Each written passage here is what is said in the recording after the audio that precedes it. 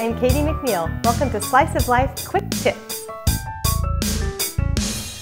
A professional trick for making sure all of your recipes come out right is to do what we call mise en place. What that basically means is to have all of your ingredients measured and prepared before you start to assemble whatever it is you're baking. So you have your salt measured, you have your leavener measured, the sugars there, the liquids, it's all in front of you, you don't forget anything, and your recipe will come out right every time.